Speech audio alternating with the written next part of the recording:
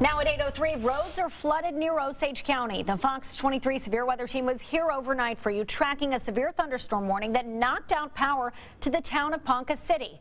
Fox 23's Jenny Young is live near Marland with a look at the flooding.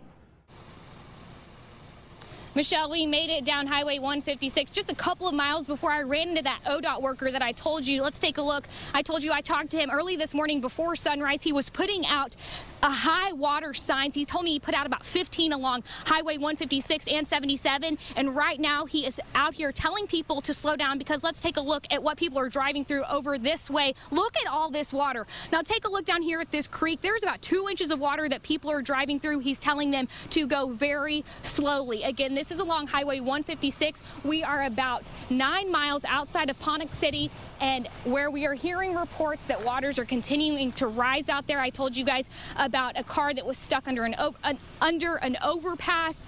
Uh, the police dispatch told me that they have rescued that, that car and they have no other reports of emergencies right now. We're going to head that way. We'll have an updated report for you guys in hopefully about 30 minutes. For now, reporting live, covering news that matters. I'm Jenny Young, Fox 23 News.